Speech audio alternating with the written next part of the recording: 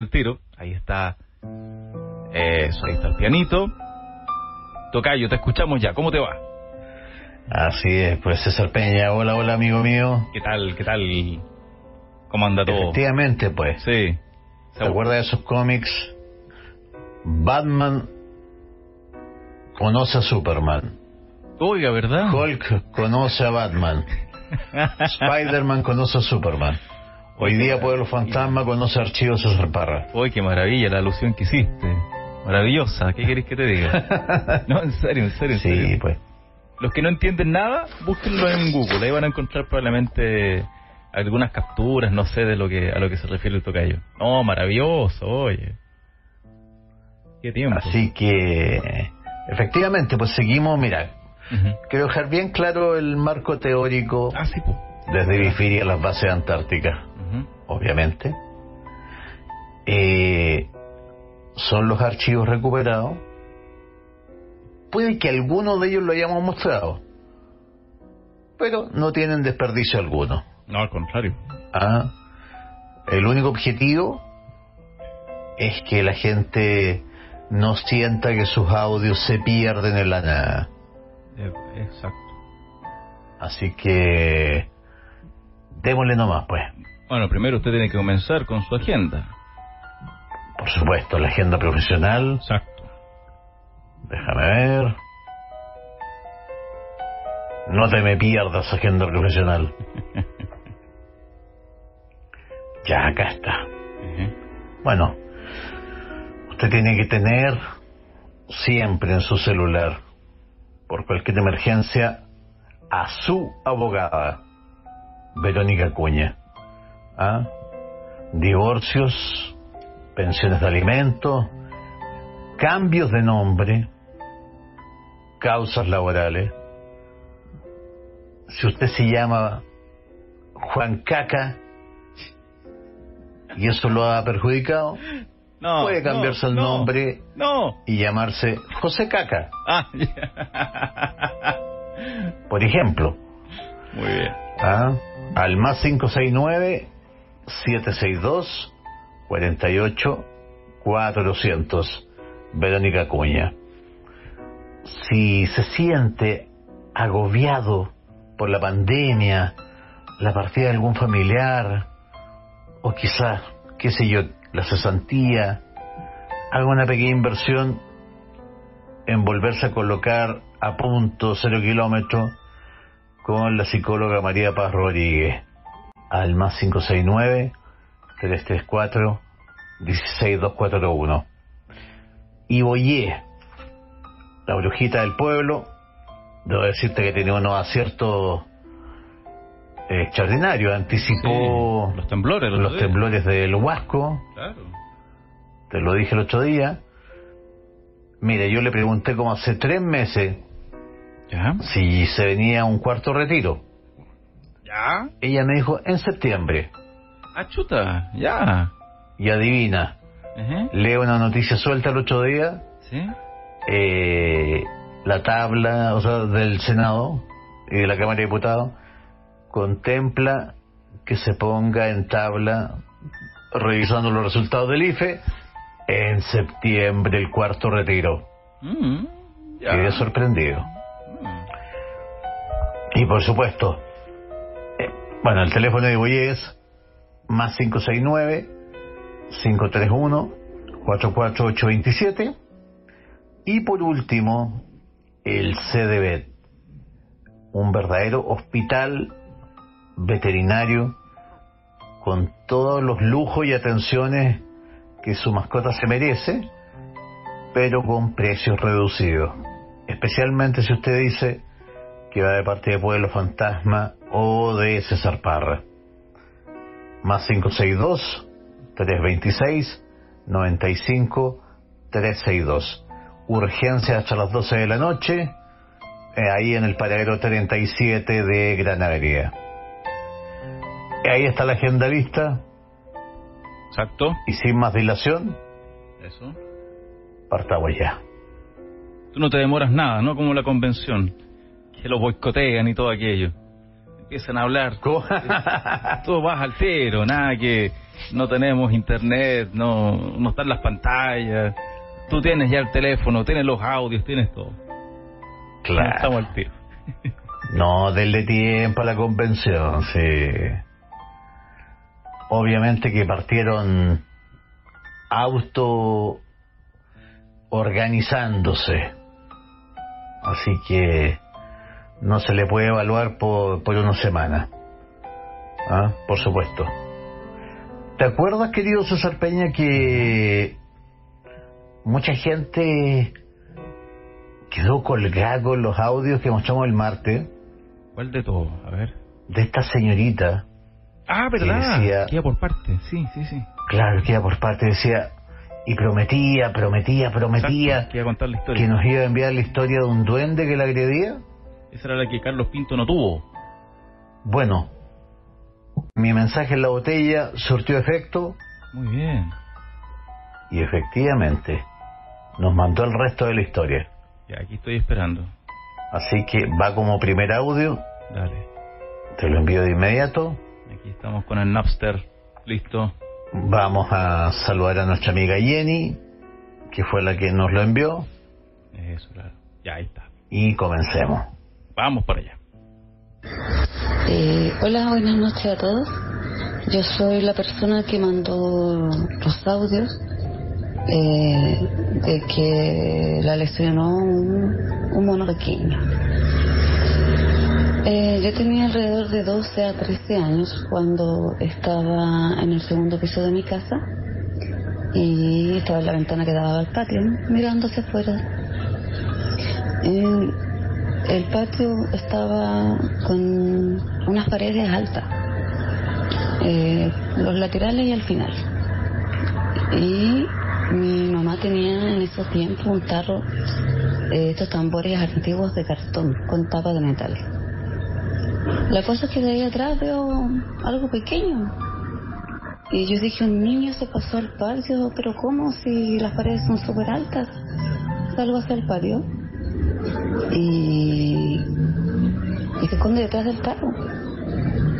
Y yo me llego a él y le tiro la mano, le tiendo la mano para sacarlo y saca un- unas garras pero así muy proporcionadas y me lastima la mano. Wow. Y el cual yo empezó a sangrar del tiro y saltó. Me salía mucha sangre, entré, mi mamá asustada, dijo, ¿qué te pasó? Entró un ladrón. Eh, no, no, me rasguñó algo, algo me rasguñó, pero ¿qué te rasguñó? Me decían, me miraba la mano que no paraba de sangrar, me pusieron una toalla y me llevaron al hospital.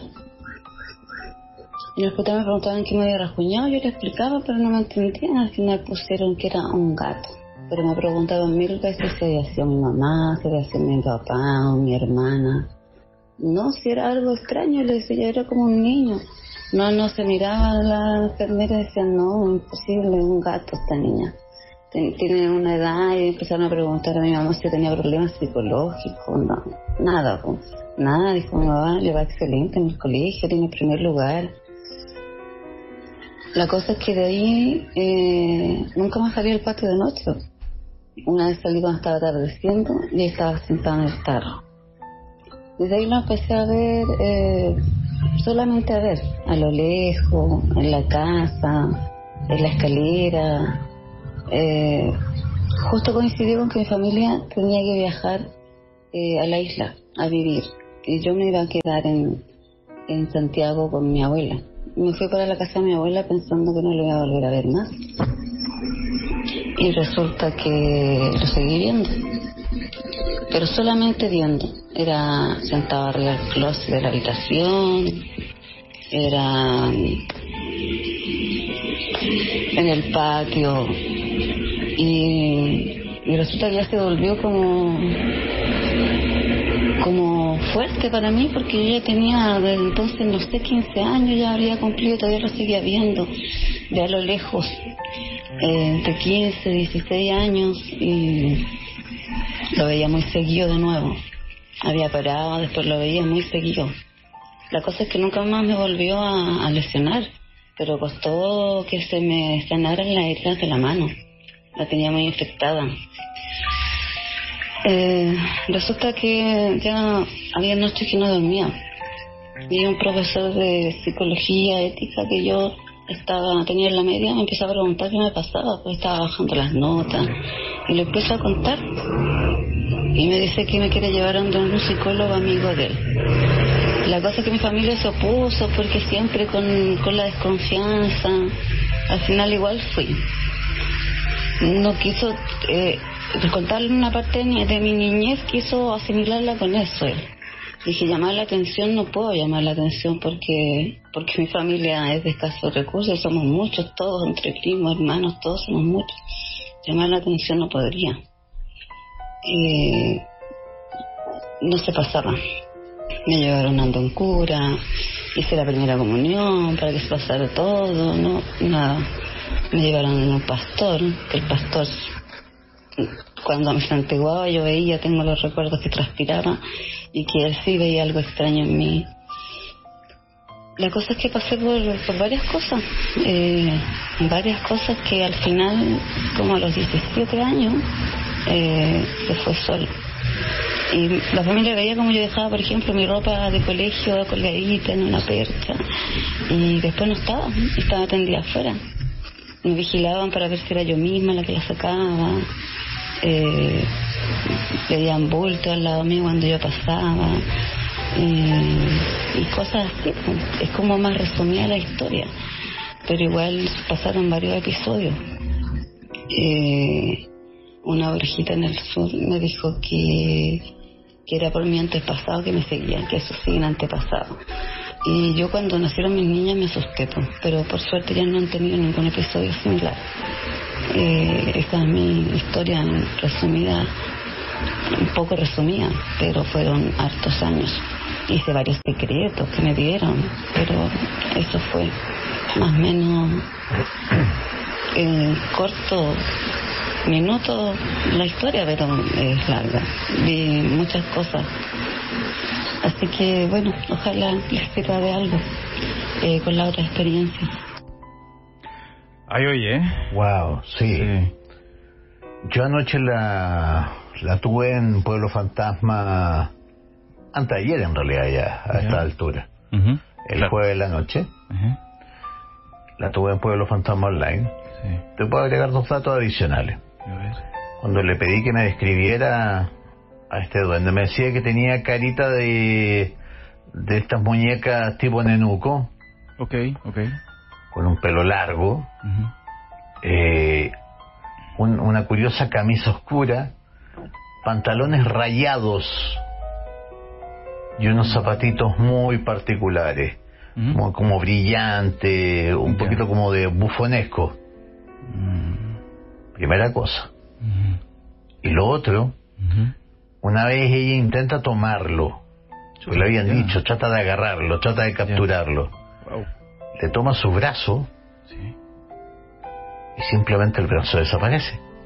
Ya, ok, ok. Y él, el duende, al sentirse agredido, claro. chilla, Jenny me dijo textual, suena como un disco al que tú le has corrido la aguja. Una cosa Ese lamento así, claro, pero molesto.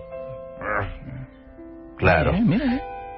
Eh, Ah, y que esto, a pesar de todas las contras de duende, etcétera, incluso las que yo mismo he recomendado a veces, todo esto cesó, curiosamente, y aquí viene el viejo tema de que los duendes persiguen a, a chicas pequeñas o adolescentes. Esto terminó solo finalmente, cuando ella cumplió la mayoría de edad, 18 años. Ah, ya el factor ese, sí. Entonces, como te digo, se cumplen muchas leyes duendísticas, pero otras no. Mm. Te voy a mandar tres historias cortas. Oye, me llamó la atención que... Diga, por favor. A ver, para cualquiera se puede prestar para decir, había una presencia con ella, no sé qué. El, mucho, el ruido de fondo que había que lo sumo que era agua corriendo, tal vez no se estaban lavando algo y por la compresión con la cual graba el teléfono celular, ese audio se, mm, se distorsionaba mucho. pero de verdad, si lo tomara este audio, ponte tú, no sé, alguno de las, de las cuentas medias chantas que hay en YouTube, perfectamente la podrían tomar como que algo estaba con ella y por el sonido distorsionado que se escuchaba. Mira, eh, te voy a ser franco. Hay un momento Sí, cuando ella menciona la palabra hospital, ya. cuando le llevaron al hospital. No te quise decir nada. Que a mí me llamaba la atención eso. una risa. Ese- ah, no, no, no, yo ahí, ahí no, solamente escuchaba como que, a ver, al, al ser distorsionado el sonido, como te digo, por estar comprimido y todo eso, se mm, podía interpretar como que había alguien ahí, como que había, no sé, a- a- algo así. No, sí, pero, yo escuché algo similar, pero no me quise, como es el chileno, claro, psicosear. eso, eso. Pero, yo te lo asumo ¿quieres que como escuchemos ese fragmento? A ver, ¿te acuerdas más o menos? Escuchemos la primera parte hasta la palabra hospital. A ver, la Para decirte lo que yo escuché. Primer audio, tú me mandaste tres ahora, ¿cierto? Sí, pero Ya, sigue entonces- siendo el del primero. Sí, ya. El de 551. École, le pongo play, le ponemos play. Eh, hola, buenas noches a todos. Yo soy la persona que mandó los audios. Eh, de que la lesionó un, Sí. un mono El- pequeño. Entre comillas, extraño. Eh, yo tenía alrededor de 12 a 13 años cuando estaba en el segundo piso de mi casa y estaba en la ventana que daba al patio, ¿no? mirando hacia afuera. Eh, el patio estaba con unas paredes altas, Adelántalo un poquito. los laterales y al final. Ya. Medio minuto. Y se esconde detrás del carro. Y yo me llego a él y le tiro la mano, le tiendo la mano para sacarlo y saca un- unas garras pero así muy proporcionadas y me lastima la mano. Ahí, se- ahí, Y el a sangrar del ahí tiro podría decir que saltó lo asumía como una respiración. ¿no? y le tiro la mano, Sí. le tiendo la mano para sacarlo y saca un- unas garras pero así muy proporcionadas y me lastima la mano. Y el yo empezó a sangrar del tiro y saltó. Me salía mucha sangre, entré, mi mamá asustada, dijo, ¿qué te pasó? Entró un ladrón. Eh, no, no, me rasguñó algo, algo me rasguñó, pero ¿qué te rasguñó? Me decía, me miraba la mano que no paraba de sangrar, me pusieron una toalla y me llevaron al hospital. Eso- a eso me referí. Suena como chancho. ¿Escuchaste o no? Sí, suena como chancho. Mira, Retrocede un poquitito, a ver, Ahí está, Ahí está, ahí me pusieron una toalla y me llevaron al hospital. Y hospital me preguntaban qué me había Sí. rasguñado, yo le explicaba, pero no Ahí me está. Ahí va de nuevo. Para sangrar, me pusieron una toalla y me llevaron al hospital. Y hospital me preguntaban qué me había rasguñado. a mí Eso, tocayo... Para mí, ¿Sí? no tiene explicación. Sí, es verdad, No tiene es verdad, es verdad, es verdad. ¿Será interpreto como un río de chancho. está A mí me suena como eso. ahí? Pero, a ver, siéndote honesto, a mí me llama la atención que de repente tenemos mucho ruido, como ruido ambiente que estuviera en la calle prácticamente, y en algún momento no hay nada de ruido. Es como si se desplazara, pero por su... mm, A ver, tú recién te moviste y eso se notó, porque cambia tu voz, ¿entiendes? Cuando uno va... Perdón, caminando. incluso, sí, sí, sí. Debo reconocer que se me cayeron unas llaves también Ya, y que saqué mis espejuelos para leer. Ya, Por es si que eso se nota, a aquí voy. Se notó que tú te moviste, porque cambia el tono de la voz, la respiración y todo esto. En cambio, en ella, en ningún momento cambia. Se mantiene No, lo pues. mismo. Pero sí es como que se desplazara de un lugar a otro, porque escuchábamos incluso ruido de autos que pasaban, ya, eh, mucho ruido ambiente, y en algunos momentos no hay nada de ruido ambiente. A ver, me llama la atención. ¿Qué querés que te diga? Y no, el, el- el- Mira. perdona, para mí el chancho ese que sale de ahí riéndose entre comillas es notorio. Es muy de Yo chancho. no te lo quise mencionar Sí, no lo. porque dije, si César no me lo hace notar, Mm. que tiene un oído obviamente más afinado, eh, No, pero yo no voy a clarito. hacer notar. No, pero está clarito. Pero una vez que tú me dijiste eso. Lo hice presente. No, está clarito. ¿Qué quieres que te diga? Sí. Para mí es como chancho, no sé para ti, pero para mí eso no es como. ¿Lo escuchamos la última vez? Ya, déjame ver si lo tengo. Lo tengo acá. rasguñado, yo le explicaba, pero no me. Eh, no, no, me rasguñó algo, algo me rasguñó, pero ¿qué te rasguñó? Me decía, me miraba la mano que no paraba de sangrar, me pusieron una toalla Ahí está de nuevo. Ahí está. Y después me preguntaban qué me había rasguñado, yo le explico, no, me decían, me miraba la mano que no paraba de sangrar, me pusieron una toalla y me llevaron al hospital. Y después me preguntaban Oh, qué me había rasguñado, yo le increíble. explicaba, pero no me entendían. Y mira, pues está sin ningún ruido de fondo. gato. Pero me preguntaban mil veces si había sido mi mamá. la Ahora me fijé que aparecía ante un gruñido. Ah, chuta. Antes del hospital. Antes del... oink, oink, oink. Ah, mi hermana. ¿Qué te pasó? Entró un ladrón. No, me decía, me miraba la mano que no paraba de sangrar, me pusieron una toalla y me llevaron al hospital. Y me preguntaban qué me había rasguñado, yo le explicaba, pero no me Oye, ah, entendían. ¿se Al pasó, final ah? pusieron que era un gato. Buen audio, buen audio. Bueno, Buen ella... audio. Eh, ah, bueno, tú decías, a ella ya, ya no ya no la atormenta esta presencia. No, pues. Ah, menos mal. Hace bastante Igual. tiempo ya, po. Igual debe ser. Pero en una de esas está latente ahí. Sí, uno nunca sabe. Ah. Es verdad. es Nunca se sabe. Hemos aprendido eso contigo, que uno nunca sabe. Vamos con, bueno, lo paranormal es caos, pues señor. Exacto, exacto. Le mandé uno de 241. Oiga, fuera la bromita al, al margen. ¿No habrá algo paranormal en la convención, oiga? Porque casi todos los días caos. ya. Eh, tú me dices el orden. 241. Ya, perfecto, lo tengo. Vamos para allá. Oiga, estuve en, en Serena porque mi hija se fue a, a a trabajar allá y nos prestaron un departamento nuevo. A todo trapo el departamento, lujoso, todo lindo, parecía clínica. Y todo bien los diez primeros días. Y yo me estaba secando el pelo en el baño siempre mi hija entra, entraba al departamento eh, con mucho silencio. po. Entonces yo me estaba mirando en el espejo y veo que algo así como, como humo, como humo de cigarro, pero en forma de persona, se asoma a la puerta y se vuelve a esconder. Entonces como yo estaba pegada en el espejo pensé que era mi hija y voy a buscar a mi hija al departamento y no estaba, po. Ya de ahí me devolví, qué raro, igual me asusté, ah, llegué a saltar. Y de ahí me seguí sacando el pelo y vuelve a aparecer esta misma, este mismo ente o sombra humosa de cigarro y se pone en la mitad de la puerta del baño. Ah, no, dije yo esta cuestión. No es.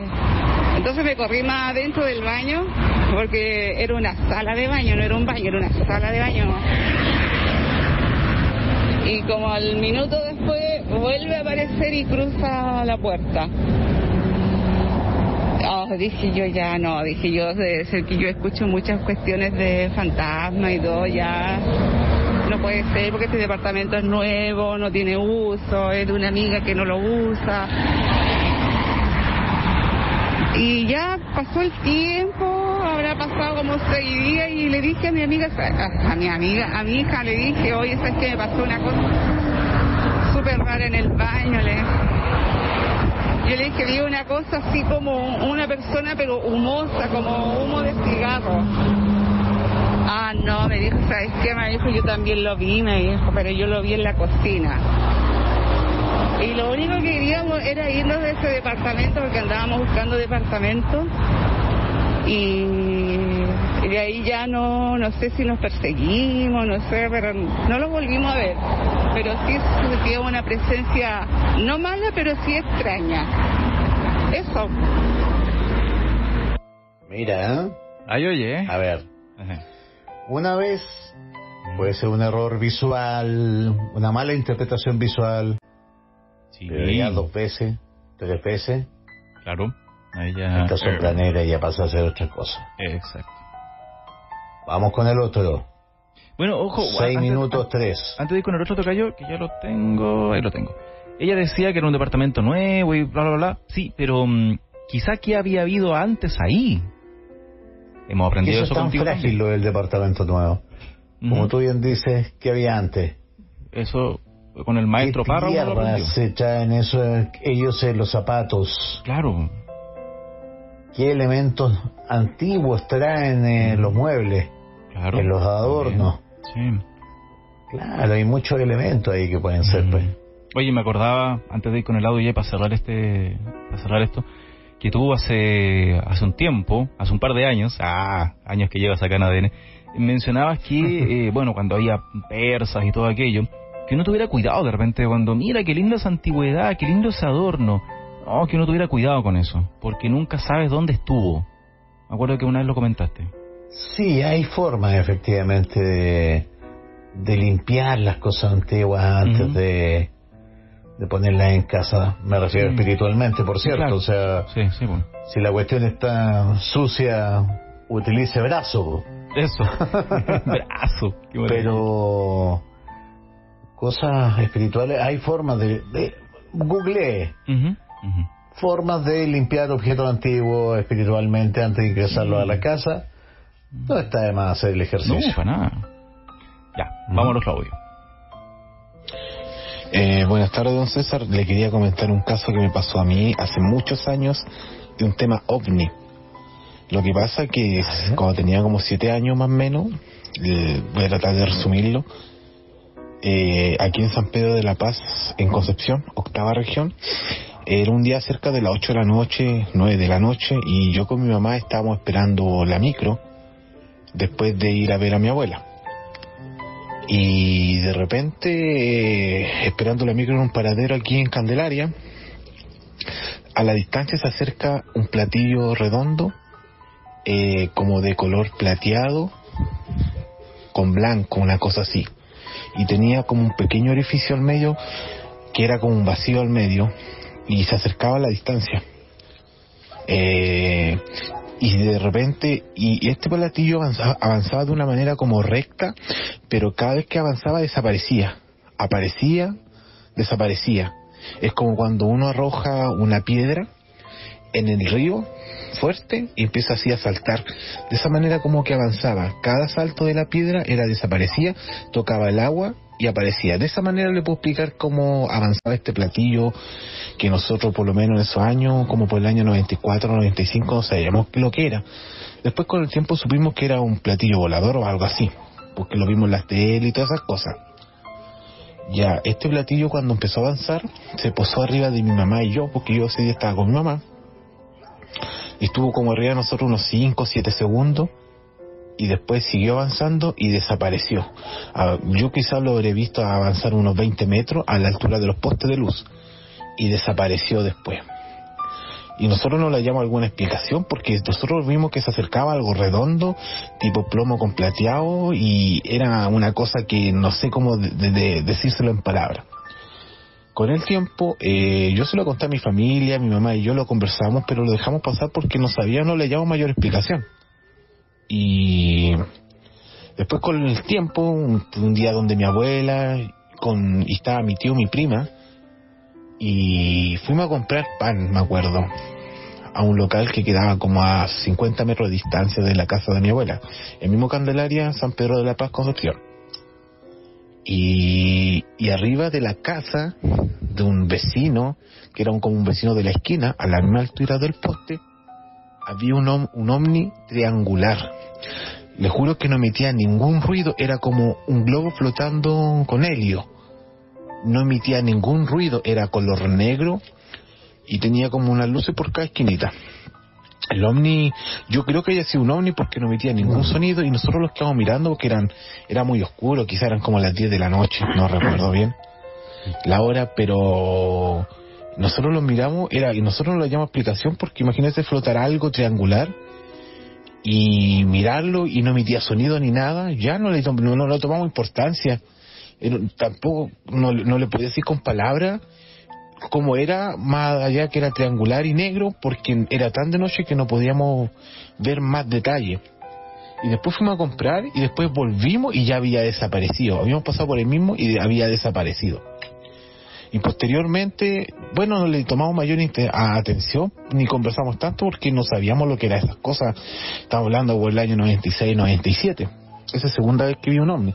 Y la tercera vez cuando estaba jugando con un tío y vimos otro ovni a la altura de la nube, pero desapareció. Fue algo como fugaz, pero todo cerca de la casa de mi abuela. ¿Ya? Eh, después con los años eh, pasaban este tema de las abducciones. Me habría pasado unas cinco o seis veces. Se lo juro que yo salía de mi pieza, flotaba por los aires y miraba el techo de mi casa. Y yo no le hallaba explicación, de repente como que levitaba y miraba mi pieza y yo no, no, lo que no, no recuerdo mucho era cuando salía de la casa por el techo y, y después despertaba y estaba en mi cama. Y yo quizá, quizá lo pude haber asumido que era un sueño nomás. Pero un día, eh, después que me pasó lo mismo, pude abrir los ojos. Y le puedo jurar que desperté en un cuarto blanco con una mesa de acero. Esta de acero es como de hospital, se podría decir, con unos seres cabezones al lado, así como los grises, con ojos grandes y, plomo. O, eran colores como grises, plomo, algo así. Los grises son plomos, ¿sí? O son grises, no sé cómo se le llamará, y con un ojo grande. Esto me pasó muchas veces a mí, cuando yo era chico. Eso me pasó a los 7, 8 años, después me pasó hasta como los 14, 16 años, después con el tiempo ya no me pasó más. Y bueno, le quería comentar esto, creo que alguna vez se lo envié escrito, pero se lo quería. Esto tiene mucho más detalles que me gustaría comentarle, pero para no alargar el audio traté de resumirlo.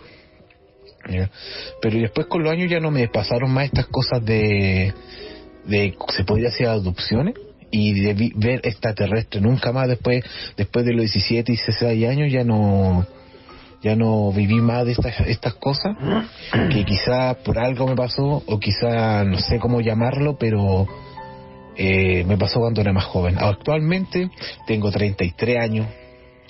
Ya de los 17 a los 33 son varios años más que han pasado ya de mi vida así que no he tenido más experiencia y se la quería comentar tiene mucho más detalle esto, eh, pero quería resumírselo. Muchas gracias. Eh, que tenga buen día. Mira, ¿eh? ahora bien, sí.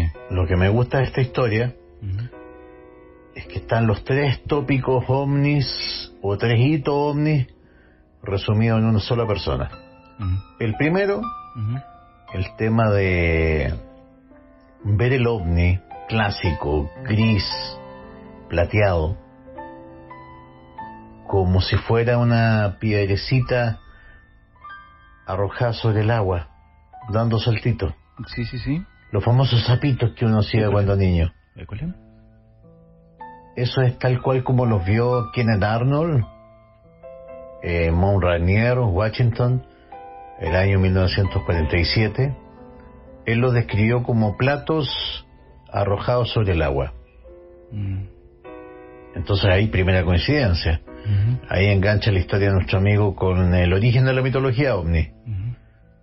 Después el tema del ovni triangular con luces en las puntas.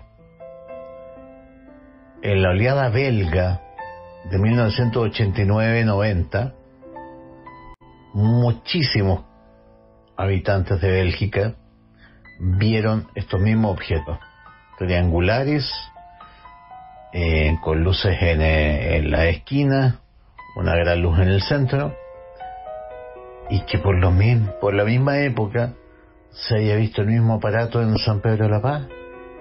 Mm. A quien le mando muchos saludos también, porque de hecho San Pedro de la Paz transmite al unísono con nosotros el fanpage, eh, pero Pueblos Fantasmas online. Y lo tercero, el fenómeno de la abducción, con gris. Entonces, en una sola persona, va pasando el careucho la hora todo esto. Justo cuando estábamos hablando del tema. Sí. Gracias. Eh, sorprendente. Mm. Excelente relato. Mm. Vámonos al próximo. Uh -huh.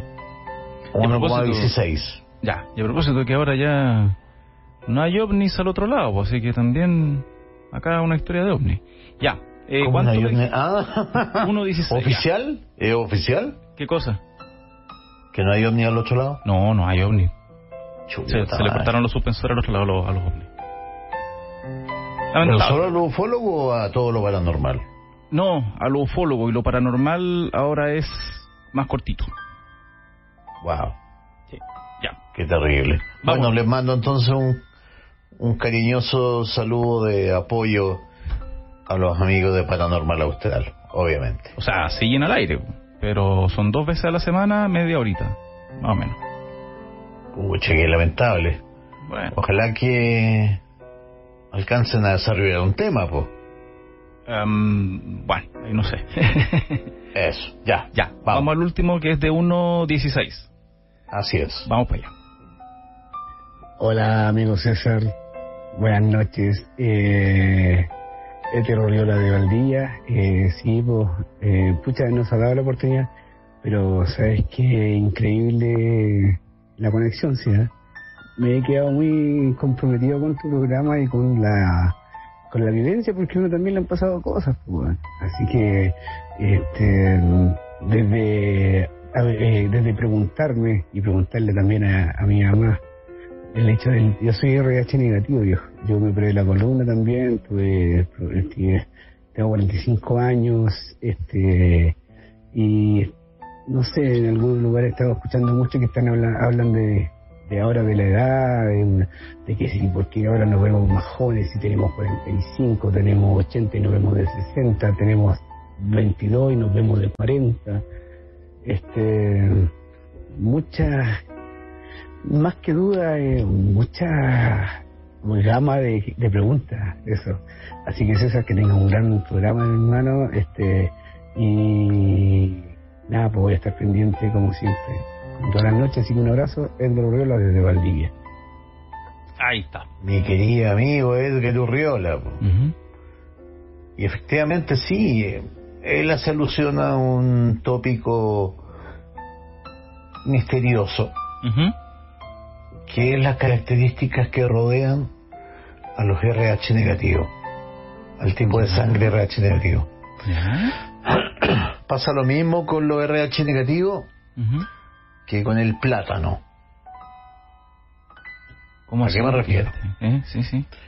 Los RH negativos son muy escasos Ya. y al parecer, como él dice, tienen cierta tendencia a tener características distintas al resto de la gente.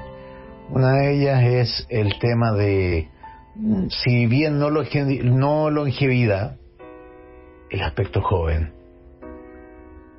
Casi extraterrestre, por decirlo así. Ya. No está muy claro el origen de ese tipo de sangre. Por si acaso. Primera cosa. Mira. ¿Por qué hice la comparación con el plátano? Hay viejas leyendas de Centroamérica Sí. que dicen que el plátano fue un fruto entregado directamente por los dioses que venían del cielo. Y si tú te pones a pensar bien, esta rara planta que crece para arriba no se parece claro. a ningún otro fruto del planeta Tierra. ¿Con qué podríamos emparentar el plátano? Todo caso, ¿verdad? Es demasiado extraño. Sí, ¿eh? ¿Verdad? O sea, Mira. desafío a alguien que me diga, porque yo sé perfectamente que una manzana tiene cierta semejanza con una pera. Claro, claro, claro. pero el plátano a qué se parece? Ah. Ah. La fruta de los dioses. Mira. Ya, terminamos la primera tanda. Sí, sí. Eh, obviamente que voy a dar las redes sociales, Claro. por si alguien quiere mandar audio historia, o quiere comentar algo respecto a lo que se ha hablado. Más 569-775-73995, o en el Instagram o el Twitter, arroba César Parra Guía. Vámonos con la siguiente tanda, amigo mío. ¿Eso?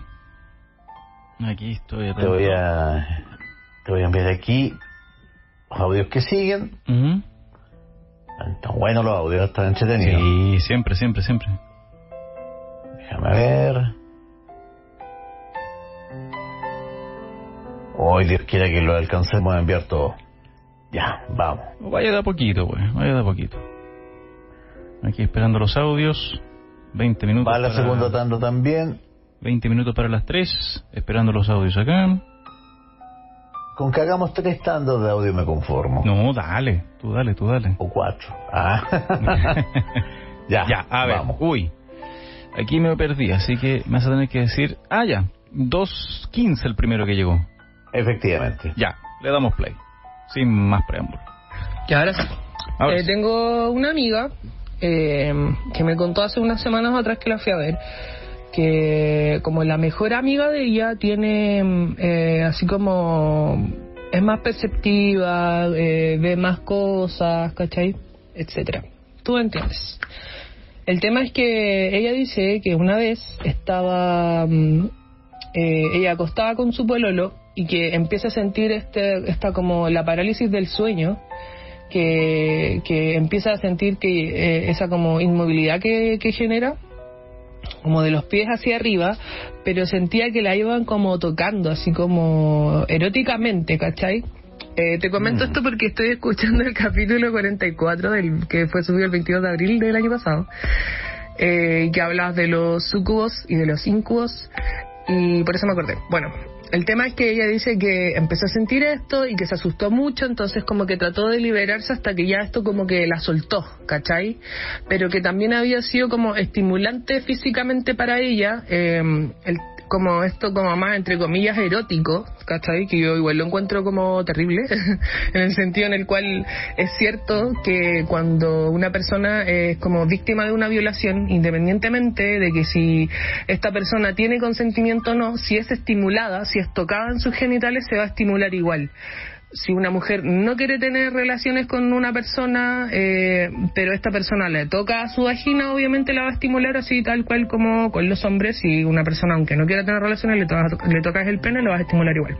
Bueno, la cosa es que eh, eh, ella se quedó con esta sensación y, y nada, pues el- el- esto como que se fue, ¿cachai? Pero al, al, al, al poco tiempo eh, ella volvió a experimentar esta situación, también estaba acostada con su pololo y también empezó a sentir como el tema de como de la parálisis del sueño, pero ella se quiso entregar a la situación como para saber qué era lo que finalmente esta entidad que ella sentía, eh, como la presencia la sentía como permanentemente, qué era lo que quería realmente como lograr con ella y como dejarse llevar con la situación. Ahí está. A ver, sigamos, si que Quedamos ahí. siguen el 2-10. 2.10. Vamos. Mi amiga me cuenta, eh, me cuenta que, que la chica eh, como que tuvo relaciones con esta entidad, con este incubo, creo que es. Eh, dice que hubo penetración, que tuvo un orgasmo que fue como el orgasmo de la vida, según la chica. Eh, y así como eh, compartió ella su experiencia como sexual con esta entidad, con este incubo, o sucubo, realmente no estoy ahí me traspapelada, pero creo que es incubo, eh, que, que, bueno, que tuvo como relaciones con ella, ¿cachai? Y ella como que se entregó. Y bueno, el pololo en ningún momento despertó, estando al lado ella, en ningún momento ella dice que despertó ni nada, y que esta situación se volvió a repetir un par de veces, que llegaba a cierta hora esta entidad a buscarla, que le pasaba lo mismo, ¿cachai? Que como que tenían relaciones, que en realidad no es porque no hay algo físico, pero bueno, eh, ¿tú entiendes? Y dice que eh, esto se repitió un par de veces hasta que ella como que averiguó bien en verdad que era lo, como, lo que le estaba pasando. Eh, y ya claramente se asustó con toda la información, con lo que sabemos, se asustó obviamente y ya como que no permitió que esto pasara más y esta entidad como que la dejó tranquila. Pero mm, nada, me encuentro que igual ella, eh, o sea, como persona, eh, no importa que uno tenga como más, más, em, como sensibilidad, no sé, pero igual es como que permitir algo, ¿cachai? Que realmente tú no ves, no conoces, es algo que te está eh, intimando, o sea, heavy, y ella como que permita que eso pase, igual me pareció un poco violento hacia ella misma y un poco como descabellado, pero bueno, ella es libre de decidir, y esa es su experiencia y la contó, y se la contó a mi amiga, y mi amiga me la contó a mí, así que yo te la cuento a ti porque obviamente eh, estas cosas se cuentan, así como... eh, a nosotros, a algo que le gusta este tipo de temas, pues, pero eso. Eso, César, un saludo. Que lata que mi audio haya sido tan largo, pero bueno. ah. No, para nada. No, para nada. Y pues. toca un tema súper tabú, ¿Eh? Sí. pero es bueno hablarlo, como él dice. Lógico. Porque a diferencia de la violación criminal, digamos, entre seres humanos, Claro. o bestia y seres humanos, Mm, mm. eh, esta situación es más eh, tramposa. ¿Por qué? Porque efectivamente estos seres, estos íncubos, estos súcubos, en este caso sí, era claramente un incubo masculino, o que es, simila lo masculino. Eso. Simula lo masculino. Eh, claro, pues, en el fondo hay una especie de, de hipnosis, no sé cómo llamarla, donde efectivamente ella siente placer. Y esto, ojo, yo no sé si es perjudicial para la salud o no, pero puede durar décadas. De hecho, hace un tiempo, no sé si lo comentamos acá, de un británico, no, perdón, de un señor norteamericano, neoyorquino para más detalle, que había sostenido relaciones con Sucubo durante más de 40 años. Mm.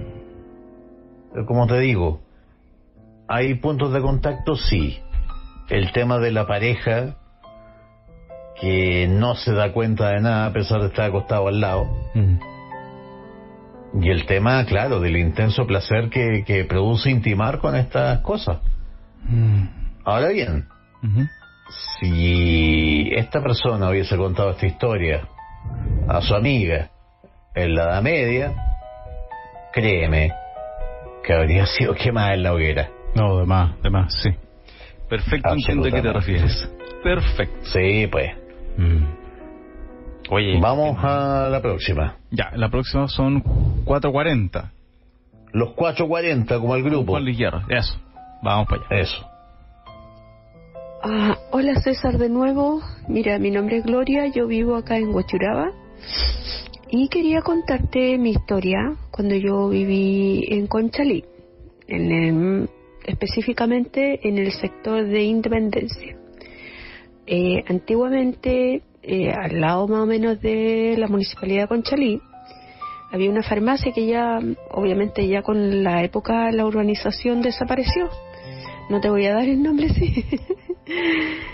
Eh, resulta de que yo iba a cuidar a mi sobrina porque en- dentro de la farmacia había una casa al fondo, una casa bien linda, bien hermosa, y yo iba a cuidar a mi sobrina, que en ese tiempo era la, única hija de mi hermana con mi.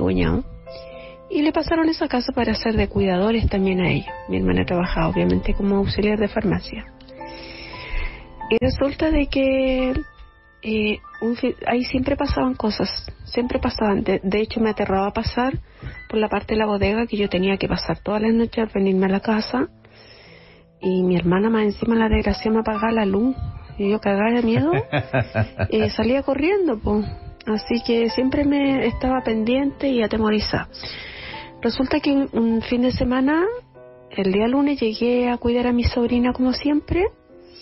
Y mi hermana me dice que, perdón, es que estoy enferma, Eh, me dice que durante el fin de semana habían aparecido muchas caras en todos los espejos y vidrios que habían dentro de la farmacia, Mm. eh, caras de un macho cabrío, así como empañados y puesto así como una tipo de radiografía en todos los vidrios.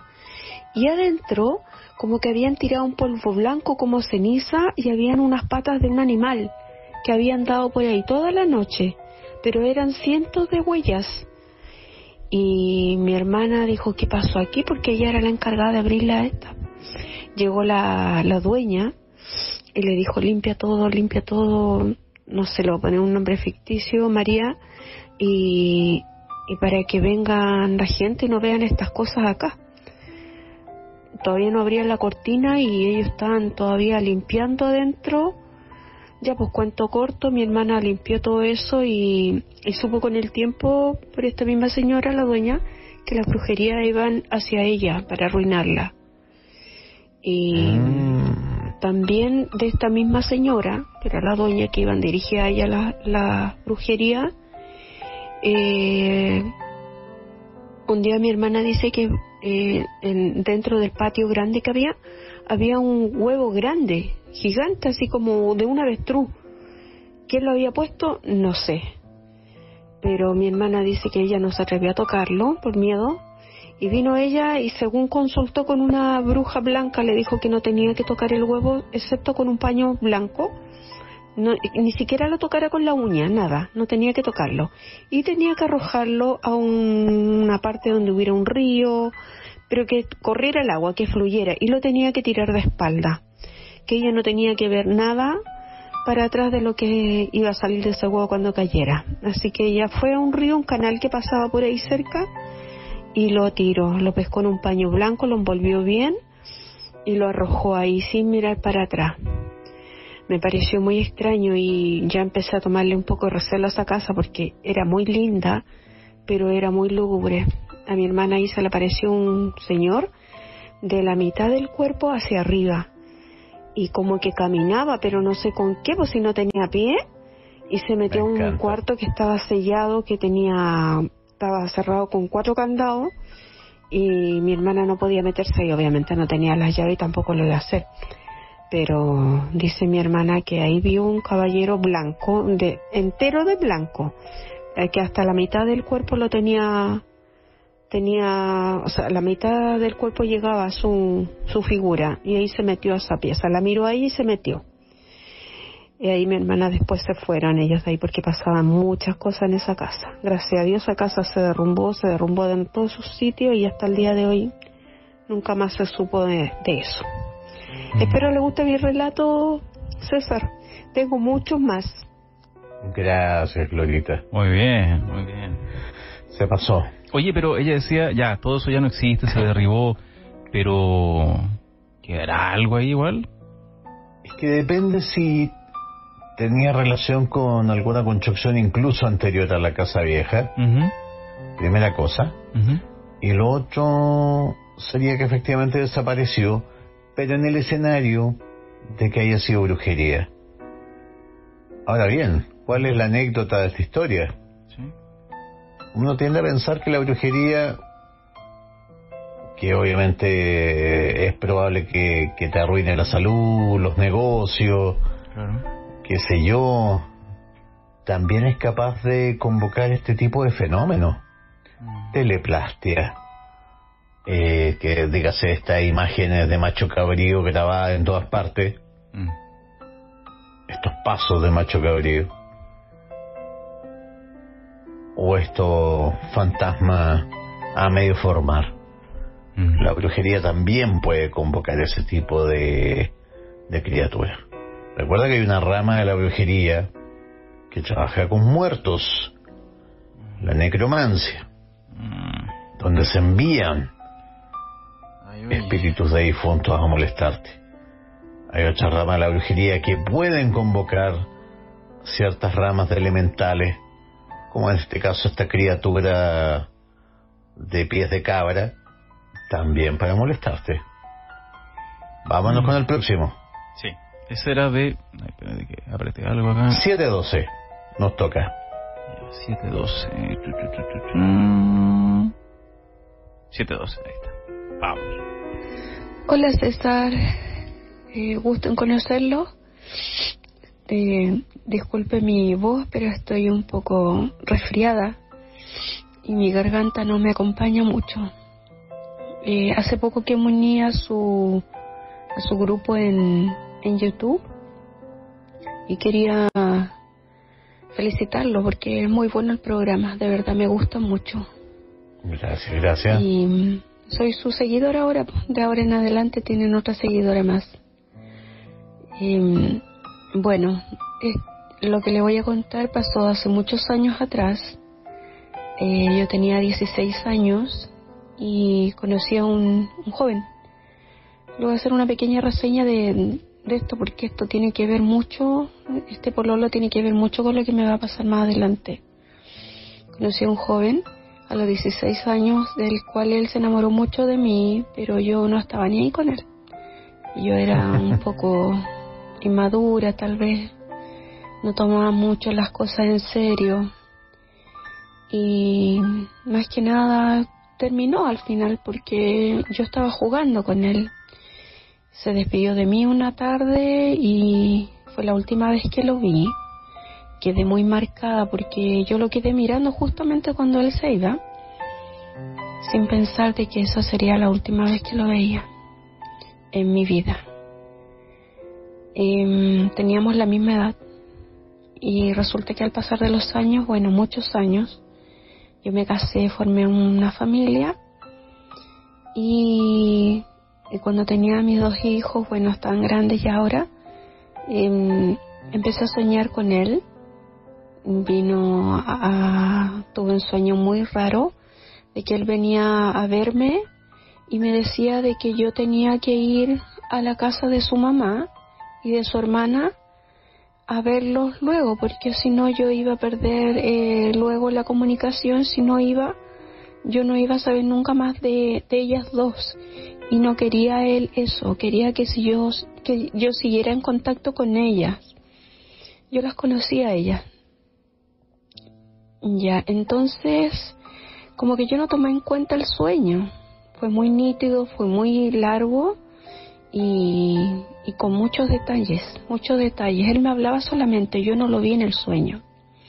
En otra oportunidad también eh, soñé con él y me dijo, viste, me dijo, te perdiste la oportunidad de eh, saber dónde va a vivir mi mamá con mi hermana porque ellos ya se fueron.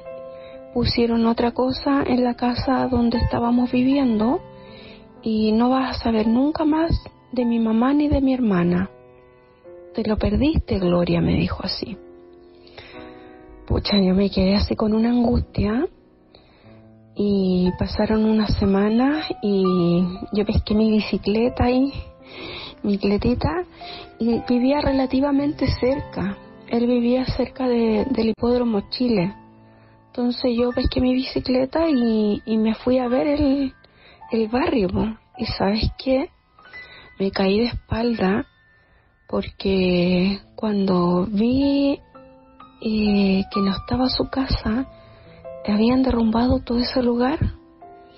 Y le pregunté a un vecino eh, de por ahí que qué iban a poner ahí, me dijo, aquí mi hijita van a construir, me parece que vienen unas parrilladas, unas parrilladas argentinas creo que son, algo así. Y me quedé helada porque era tal cual lo que me había dicho él en los sueños. Bueno, eh, pasaron unos meses y yo me quedé siempre con esa espina y empecé a notar los sueños que tenía con él. Y creo que el último sueño que tuve con él fue que me, me decía, mira, yo acá vivo, acá está mi, mi lugar de descanso, me van a cambiar de lugar, me dijo. Y yo tomé tanto asunto de eso, me dio tanto miedo, me dijo, me van a cambiar de nicho y me van a cambiar y tú no vas a saber. Ven conmigo, me dijo, ven conmigo. Y sabes que en el, en el sueño, César, disparé, disparé, disparé, caminé, eh, subí montículos de tierra, era invierno, me acuerdo que me embarré completa, subía, bajaba, miraba nicho, habían unas luces tenues, miraba el cementerio de noche, caminé por varios corredores donde había una luz lubre pues, en la noche.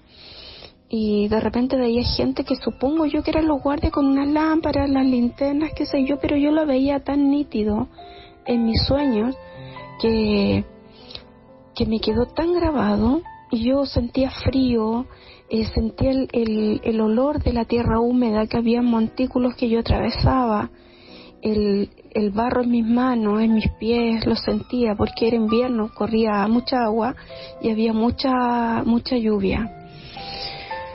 Yo me desperté muy angustiada porque al final me dio unos números, pero no me los puedo acordar.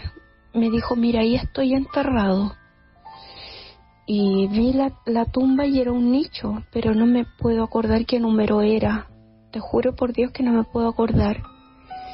Y lo he buscado durante más de 30 años a esa familia. He ido a preguntar y nada. No lo conocen, no se acuerdan.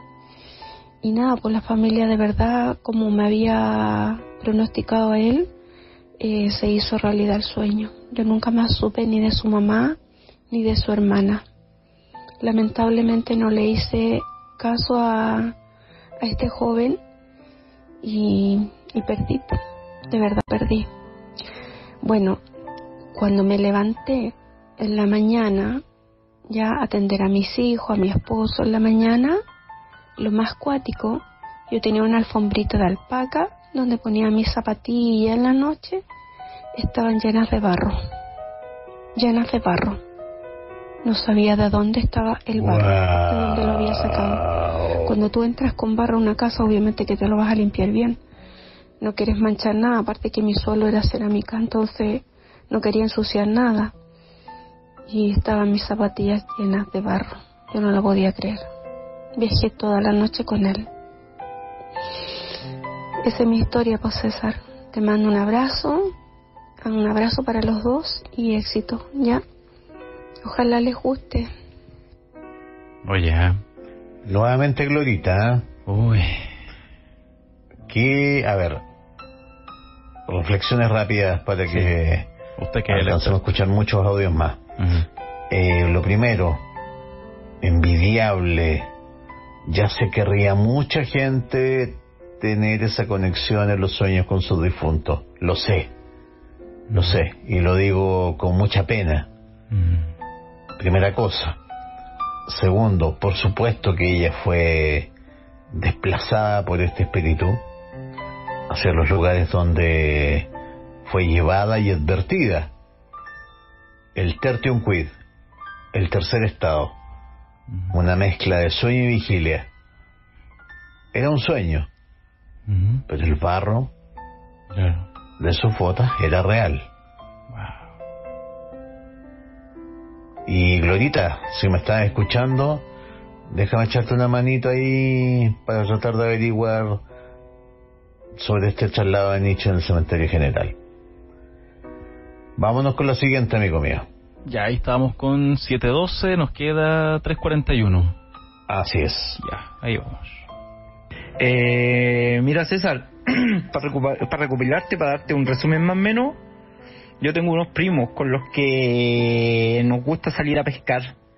Nosotros, yo en esos tiempos vivía en Rancagua. Resulta que en Rancagua hay unos cerros que se conocen como los cerros de Chancón. En esos cerros dicen que circulan los brujos en la noche.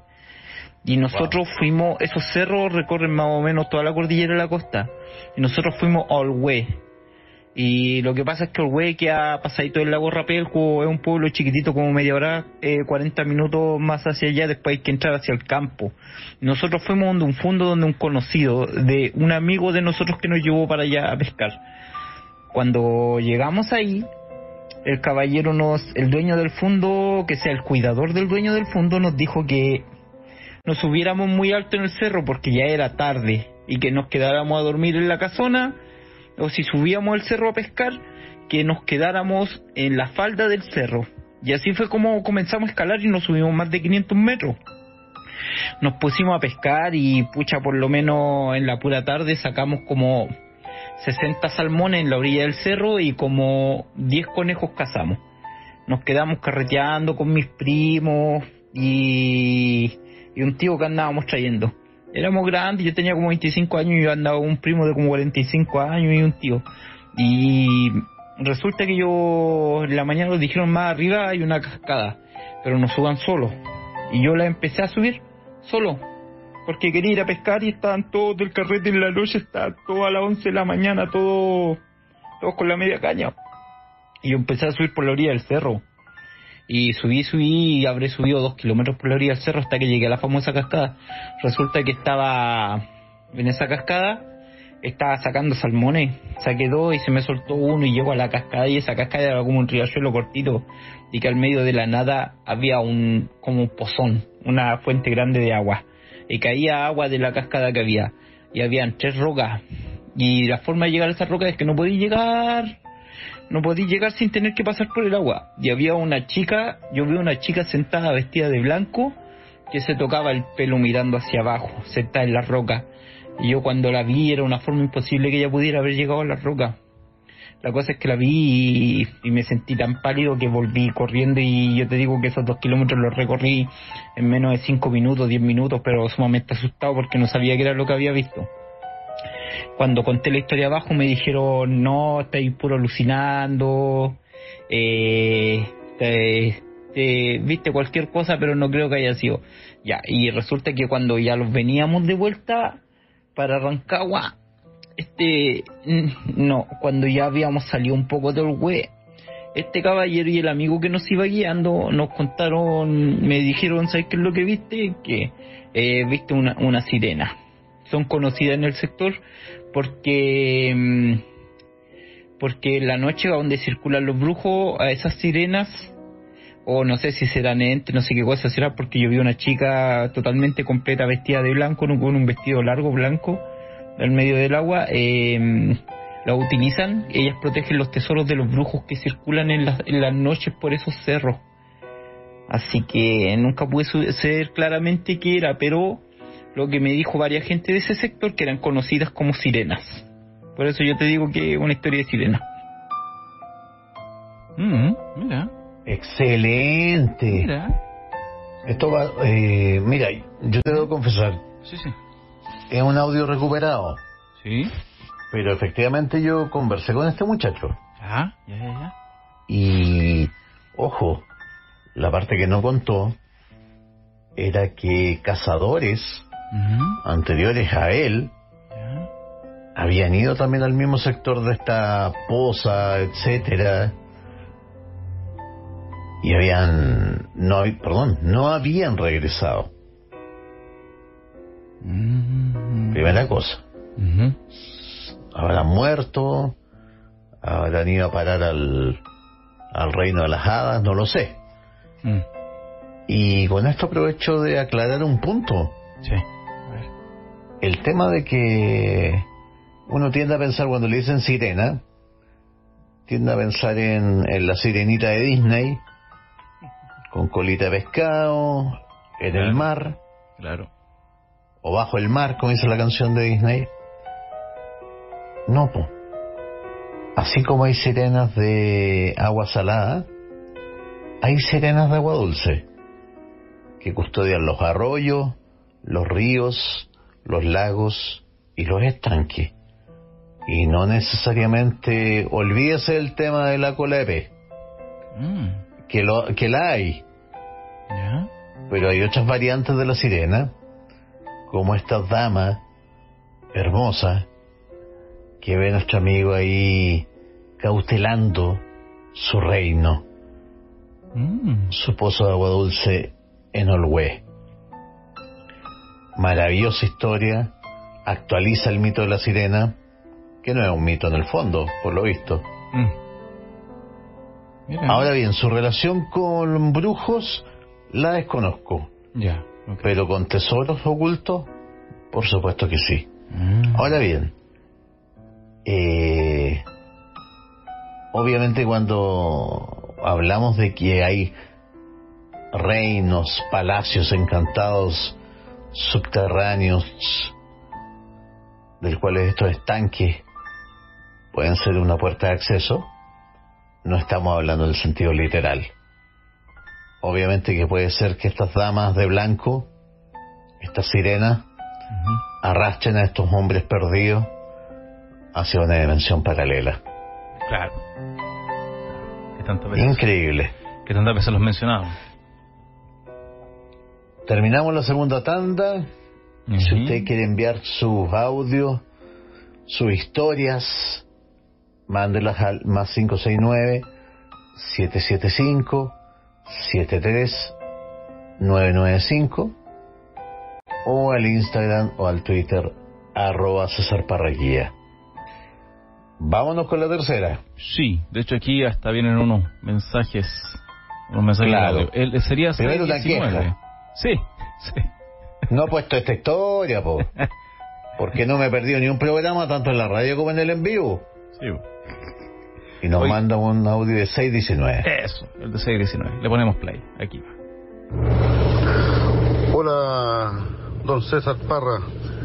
Mire, me llamo José Guillermo Cornejos Vera. Soy de Melipilla.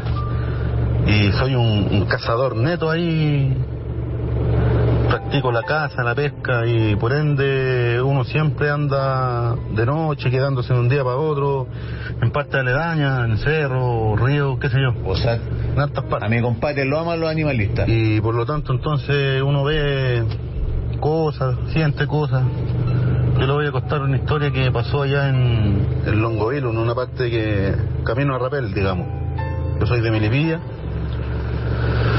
Y esto pasó hace como unos... Mire, yo tengo 30 años y eso pasó cuando yo tenía como 12 años, más o menos. Fuimos a cazar a Longovilo lo- con mi papá, yo, mi tío y un primo y un hermano. Ya pues dejamos el auto ahí, una, eh, una parte bien que no hay luz ni, ni agua, pues, agua de pozo y vela. Dejamos el auto, era un Fiat 125 me acuerdo, ahí en la casa del tío y cruzamos para el frente. Pues anduvimos como media hora, no veíamos nada, ni un conejo, nada, nada, nada, nada. Y lo primero que vemos es un, un guarén, un ratón blanco, un guarén de, los, de esos grandes, blanquito, que yo hasta el día de hoy no he visto un guarén blanco en el campo, yo que salgo de todos los fines de semana, salía cuando no estaba en pandemia. Mi papá lo mató con un- una piedra, una piedra chiquita, se la pegó y, y lo mató, pues y le dijo a mi hermano, Oye, mayor, realmente le dijo, lo van "Oye, a lo para mostrarlo, porque era raro mismo". ver en el campo un ratón blanco. Y mi hermano le dijo, no, papi, esa cuestión es un ratón, que lo vamos a echar ahí a la mochila? Eh, le dio asco. Ya, pues anduvimos, anduvimos, anduvimos, anduvimos, anduvimos. Y sabe que lo empiezan a cantar los, los tetués. Son unos pajaritos eh, raros que cantan, que yo solamente los he escuchado de noche cantar nomás. Los cantaban, y, pero no le dábamos bola. Y de repente vimos una liebre que estaba en un potrero en barbecho, un potrero que está preparado para, para sembrarlo. Y hay una liebre parada, pero- estaba muy lejos. Entonces mi hermano pasó para el otro lado del alambrado y en ese lapso el potrero queda iluminado igual que un, que un flash, que hayan sacado una foto así, pero por dos segundos y se apagó. Y empiezan a silbar atrás de nosotros. Y le dice mi papá a mi hermano, pásate para acá, le dijo, porque anda el dueño de la parcela y está silbando aquí atrás. Y ya, pues, y alumbramos, chuta, no había nadie, pues, eh, por ahí llamamos al caballero si, si estaba, el que andaba silbando, pues. no nos contestó nadie. Mi hermano pasó la mitad del cuerpo y silbaban. Cuento corto que nosotros como cabros chicos todavía no tomábamos, no sabíamos qué estaba pasando. Pasábamos el dedo para el alambrado, para el otro lado, y los silbaban. Y mi papá dijo, ya chiquillo, esto es algo malo, parece que no quieren que hacemos aquí. Vamos a darle la vuelta allí en la esquina, los vamos a comer unos pancitos y nos vamos a ir. Ya, de ahí no vimos nada más, pues ni un conejo, nada, nada, nada, nada. Nos quedamos ahí como a 120 metros de un espino grande que había. Estábamos comiendo y comentando lo que estaba pasando. Y de repente lo, lo alumbran con un foco, como con un poste de luz, pero hacia nosotros así. Y mi papá le dijo a mi hermano mayor, alumbra para allá, no vayan a ser otros cazadores que y vayan a disparar para acá. Cuento corto que mi hermano prendía el foco, lo apagaba mi hermano y lo prendían ellos. No sé, o sea, ellos digo yo, lo prendían, se prendían allá- se prendía allá. Y lo apagaban ellos y mi hermano lo apagaba también.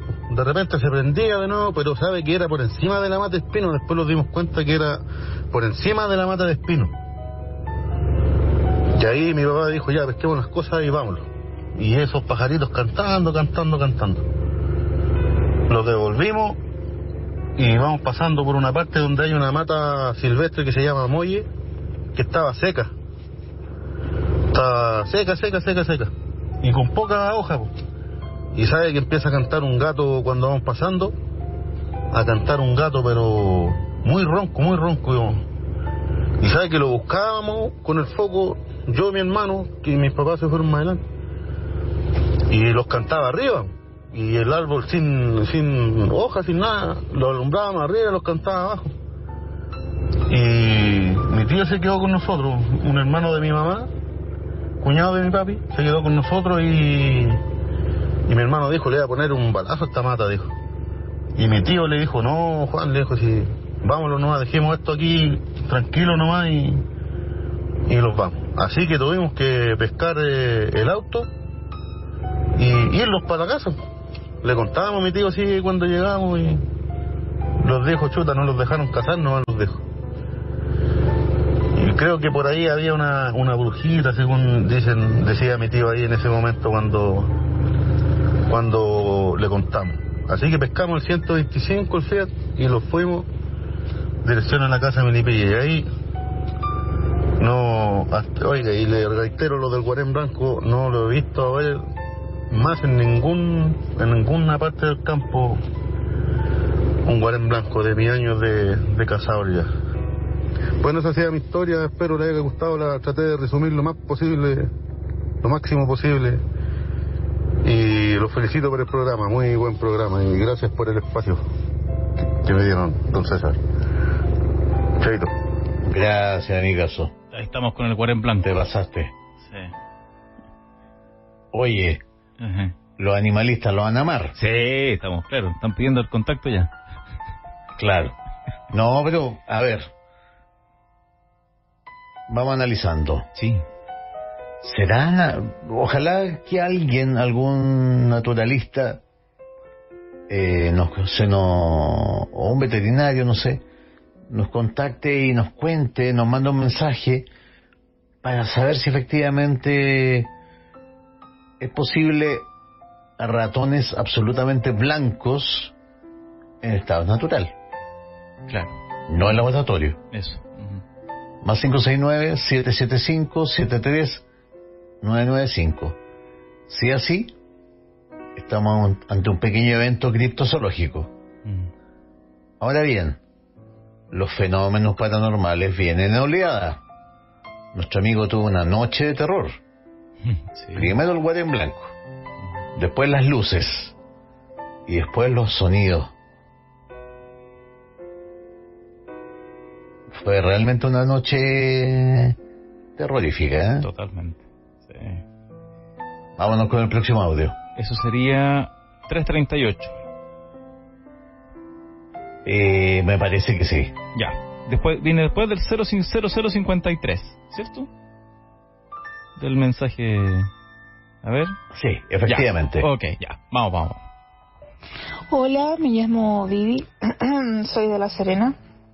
Bueno, les cuento.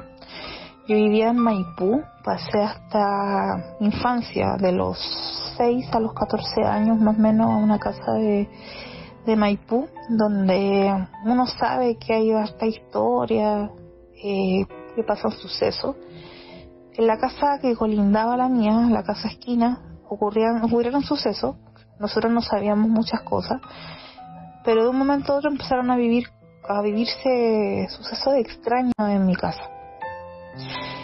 Eh, mi hermana vio a un hombre vestido de negro, como un sombrero de copa, yendo a su habitación y sintió Ay, no. como, como con sus dedos eh, empezó a tocar el piso de madera.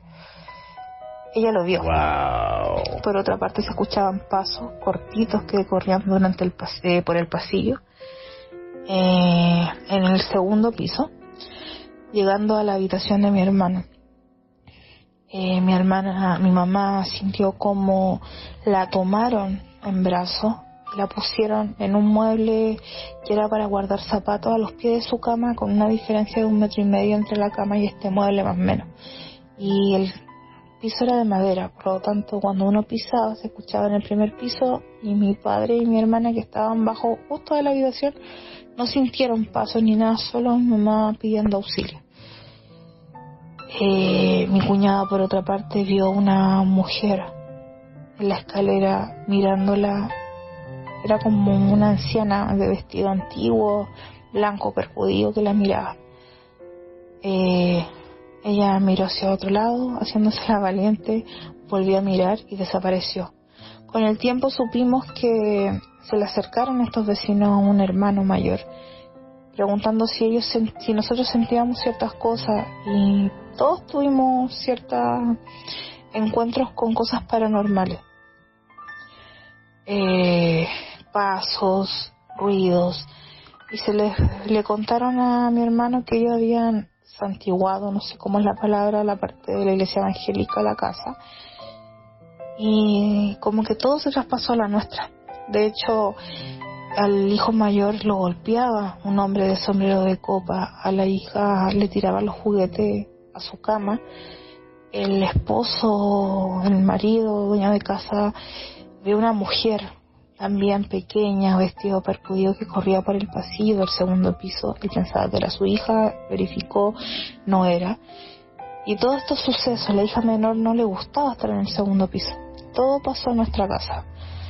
Cuando nosotros recién nos cambiamos, como dato, eh, un familiar hizo la ampliación y él contaba cómo las herramientas se movían de un lado a otro, cómo le tiraban también herramientas y sin una respuesta lógica. Todo esto ocurrió en nuestra casa en Maipú y suponemos que también data de la de cuando estuvo la batalla de Maipú, eh, que hubiese hubieron muchas muertes, lugares que levantaron poblaciones en lugares que no había nada más que un, como chacras, cosas así y y esta es la vivencia que tuvimos nosotros como familia, de nivel personal. Se agradece la historia. Sí. Primero que todo. Oye, qué bueno audio desclasificado hoy día. ¿Cierto? No, maravilloso. Sí, hay que seguir. hay que maravilloso. seguir. Sí. ¿Qué te iba a decir? Eh, me llama la atención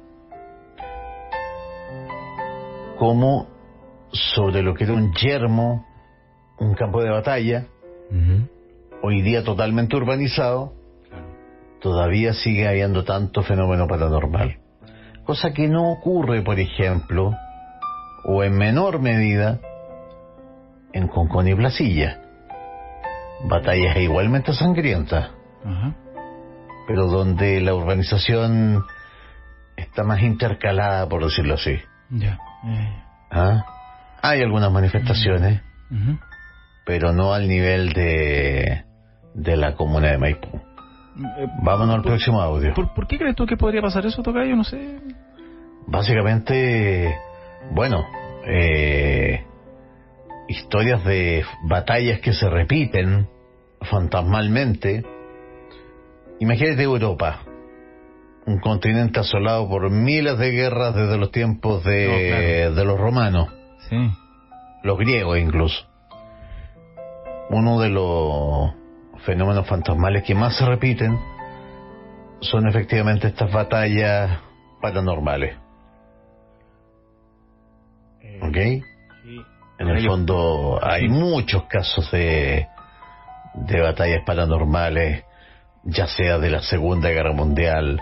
Un día podríamos dedicar esto en un especial a eso.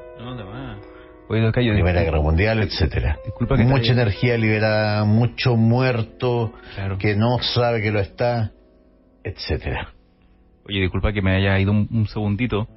Eh, tú sabes que acá es todo cerrado. ¿Ya? Sentí un viento muy sutil, como que me soplaron así en la cara. Como una cosa así. Como que se había ¿Qué abierto una ventana chiquitita, no A sé. esta hora de la madrugada. Pero sabes que está todo cerrado acá, po? Sí, pues. Bueno, bueno, ya, ok, ya. Estamos en el de 338. ahora. 1.53 creo. 1.53, perfecto, sí. Vamos, Vamos. Hola, eh, mi nombre es Vivi, soy de La Serena y quería contar una experiencia que tuvo un familiar mío eh, en Maipú, Santiago. Parece que es la misma que amiga. vivía frente a unas casas. Eh, durante, o sea, por estas tres casas se paseaba un soldado.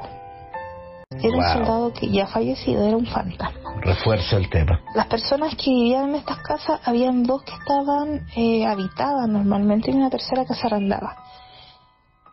se contaba, las vecinas hablaban su experiencia con esta persona, que en esas casas este era un soldado que estaba cuidando un entierro.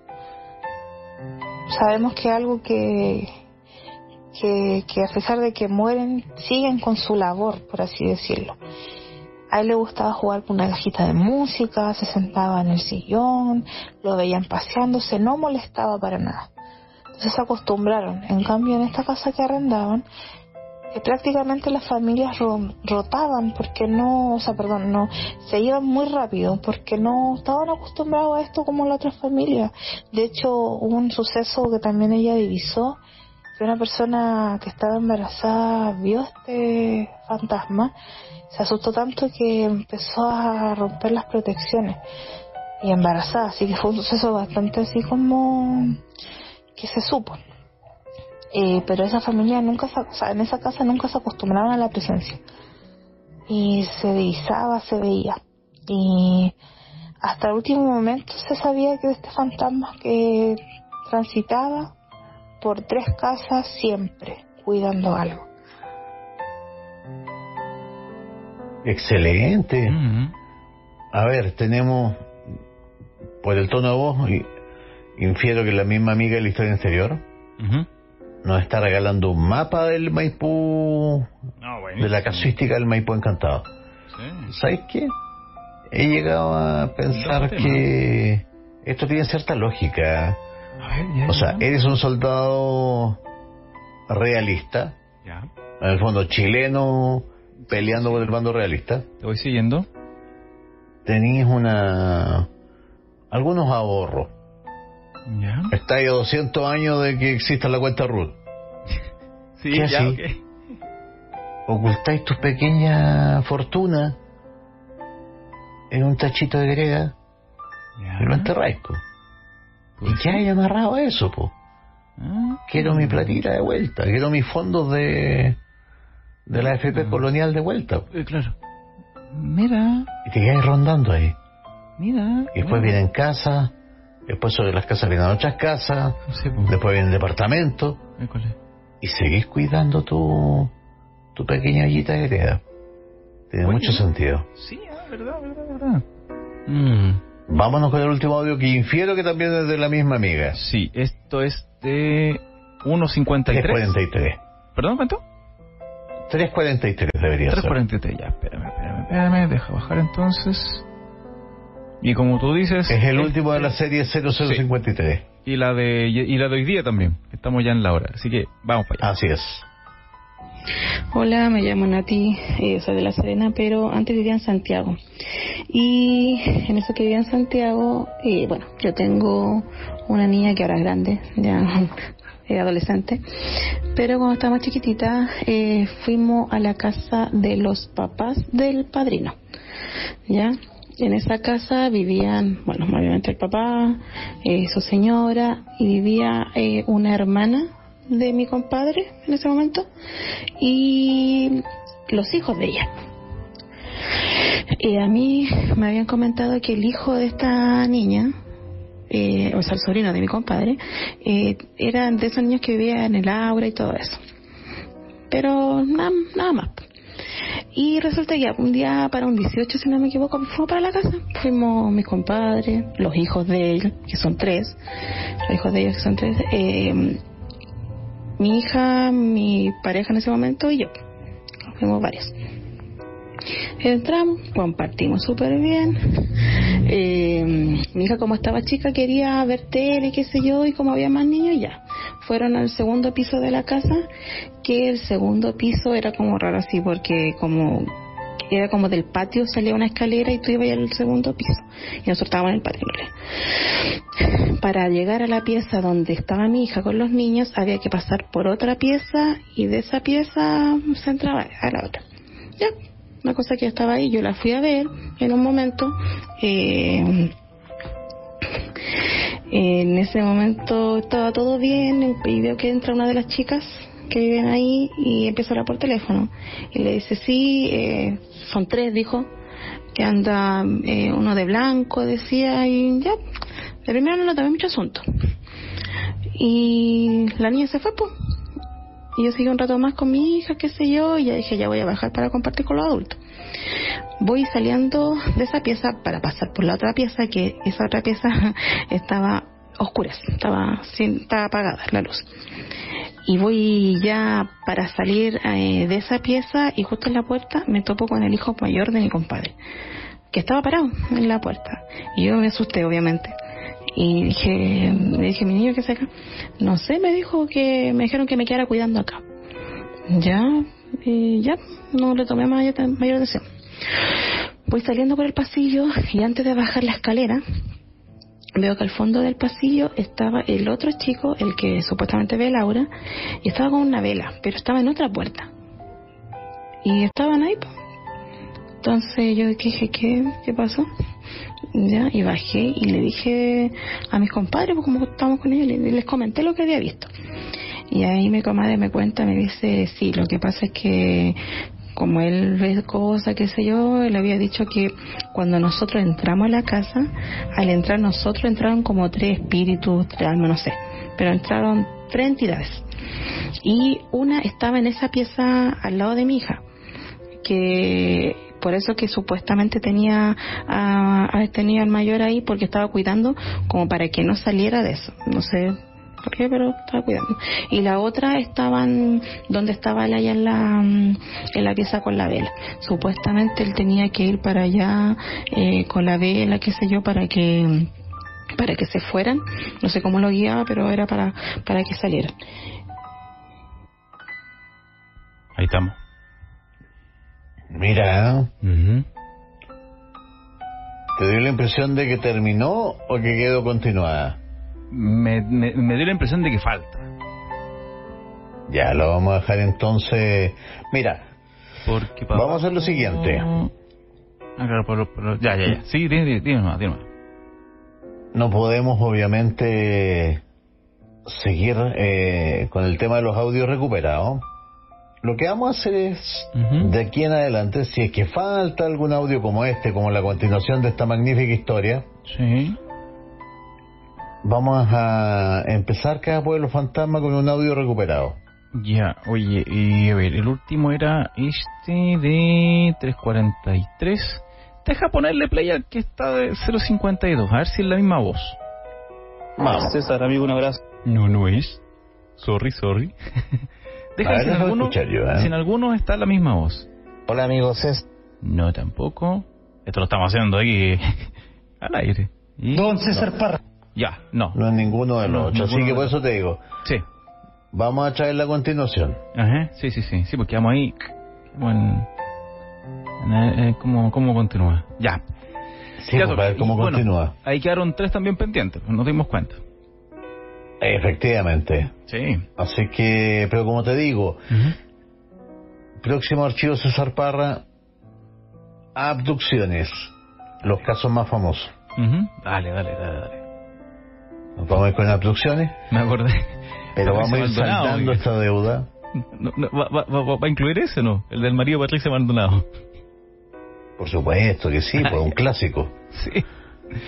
Ya. Y vamos a ir saldando esta deuda durante el año en Pueblito Fantasma, sí. O sea, no creo que deba todo el año, pero ¿Hasta dónde de? tú me entendí la idea, po. Sí, pues hasta dónde. Si hay alguien que me dice, eso es más, si hay alguien que ha mandado un audio a Pueblo Fantasma y no ha salido en el periodo, ustedes saben que vamos con un desfase de un mes y medio por la cantidad de historias que llegan, No, si sienten que no ha salido su audio, reenvíenmelo por favor. Primera cosa. Segunda cosa, si usted quiere enviar, estoy más, to- estoy más ordenadito ahora.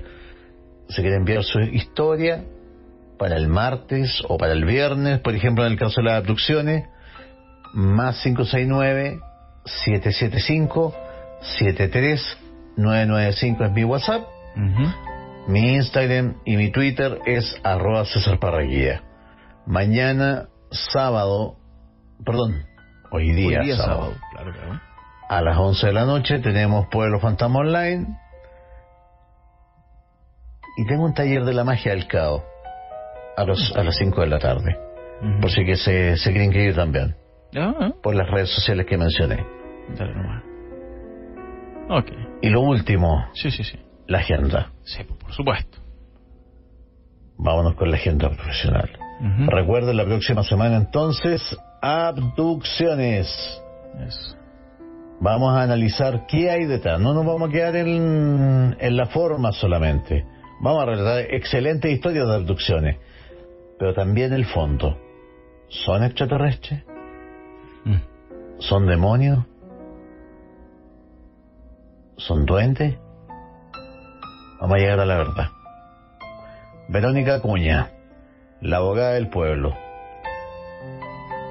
Ande siempre con su WhatsApp en el teléfono. Tenga su abogada propia. Más 569 762 48 400. Si siente penita, vaya donde María Paz Rodríguez. Depresión, ansiedad, angustia. Más 569 334 16241. La brujita más asertiva que he conocido en toda la vida. Y oye, tarot, espiritismo, limpiezas, descarga, y especialmente en estos tiempos difíciles, abre caminos. Más 569 531 44 827. Y por último, el hospital veterinario más grande de Santiago, el CDB, ubicado en Gran Avenida José Miguel Carrera, 12668, paradero 37 El Bosque. Usted diga que viene de parte de Pueblo Fantasma, que viene de parte de César Parra, que Erika Alvarado le dijo eso, que diga eso al llegar, y va a tener un precio preferencial. Urgencias hasta las 12 de la noche. Y el teléfono también guárdelo. Si los animalitos pueden tener urgencias médicas. Lógico, sí, pues. Por supuesto, pues. Sí, pues. Más 562 326 95 362. y si me lo permites, amigo mío, Por favor. darle las gracias a San Pedro Conecta, un canal de San Pedro de la Paz en la región del Biobío, que adivina, Ujú. está transmitiendo también en alianza con Pueblo Fantasma Online los envíos también los martes, los jueves y los sábados a las 11 de la noche Muy bien. por su fanpage. Como diría una amiga mía, la Dominique Bolina, por su Flashpage. Flashpage. Está bueno. Flashpage. y a través de su página www.sanpedrodelapaz.cl. Ah, un gran canal que ha estimado que estoy dentro de su de sus estándares de calidad para transmitir mi programa. No, por favor, por favor, por favor. Así que gracias a ellos.